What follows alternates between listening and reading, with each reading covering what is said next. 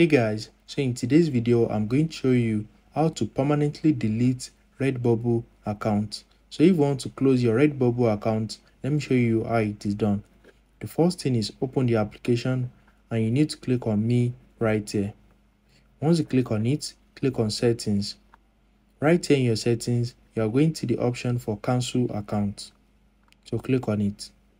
Once you click on it, I think they are going to ask you to enter a reason why you want to delete your account. So if there's anything, you can just type it right here. So I'm not going to input anything. So just click on yes, I am serious, cancel my account. Once you click on it, your account will be deleted. If you found this video helpful, smash the like button and subscribe.